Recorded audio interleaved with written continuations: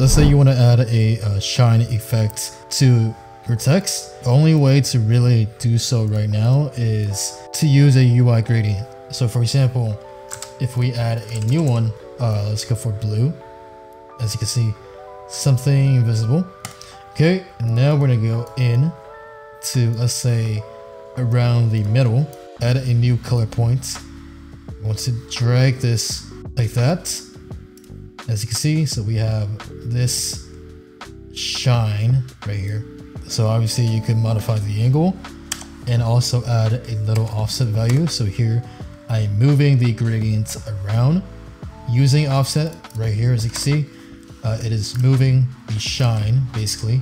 And now you can see we have a text shine effect.